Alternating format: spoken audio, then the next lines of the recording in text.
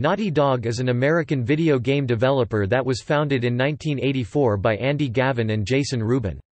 Based in Santa Monica, California, Naughty Dog was originally known as Jam Software until 1989, and began producing games for the Apple II system. Their first release, Math Jam, was an educational game for the system which Gavin and Rubin self-published in 1985. The following year, Jam developed the skiing game Ski Crazed, which was published by Michigan-based company Baudville for the Apple II. The partnership with Baudville continued for Dream Zone, an adventure game released for the Apple IIGS as well as the Amiga and DOS in 1987, before they left to work with Electronic Arts on Keef the Thief and Rings of Power. After a brief hiatus, Way of the Warrior was released for the 3DO in 1994, before Naughty Dog partnered with Sony Computer Entertainment, by whom they were later acquired in 2001.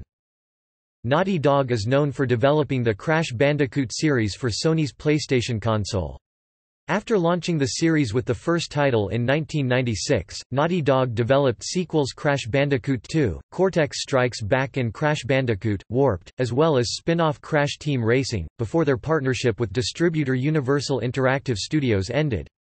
Two years after the release of Crash Team Racing, Naughty Dog returned in 2001 with a title for the PlayStation 2, Jak and Daxter, the precursor Legacy, which spawned the Jak and Daxter series. It includes the sequels Jak 2 and Jak 3 and the spin-off Jak X, Combat Racing.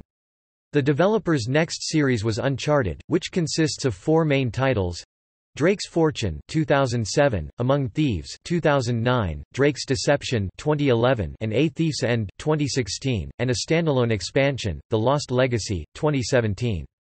Naughty Dog's most recent new intellectual property is The Last of Us, released for the PlayStation 3 in 2013 and for the PlayStation 4 as The Last of Us Remastered in 2014. A downloadable expansion, Left Behind, was released for the PlayStation 3 in 2014, and a sequel, The Last of Us Part 2, is in development. Video games